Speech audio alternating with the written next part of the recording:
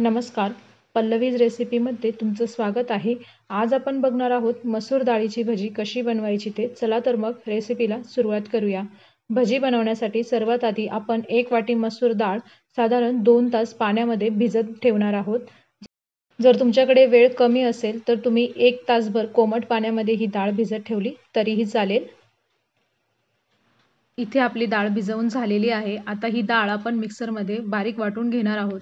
पण डाळ वाटताना त्यामध्ये आपण अजिबातही पाणी घालणार नाही आहोत.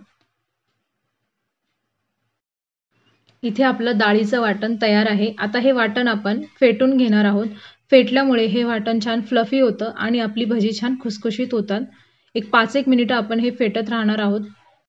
जसं जसं आपण फेटत जाऊ तसा तसा याचा कलर चेंज व्हायला सुरुवात होते.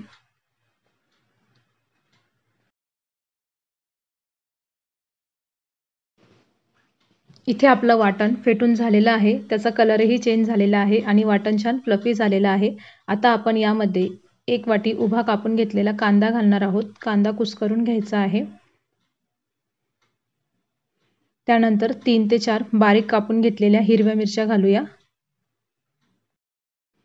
अर्धा चमचा जिरं एक चमचा आलं लसूणची पेस्ट पाव चमचा हिंग पाव चमचा हळद एक चमचा लाल तिखट चवीनुसार मीठ आणि यामध्ये आपल्याला भरपूर कोथिंबीर घालायची आहे. आता आपण हे सगळं एकजीव करून घेऊया.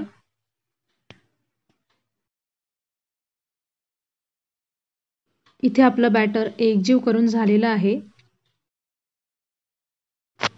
आता इथे एका कढईमध्ये मी तेल गरम होण्यासाठी ठेवलेलं होतं.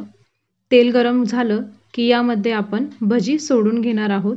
सुरुवातीला आपल्याला गॅसची फ्लेम हाय ठेवायची आहे आणि नंतर आपल्याला मीडियम फ्लेमवरती ही भजी छान कुरकुरीत होईपर्यंत तळून घ्यायची आहेत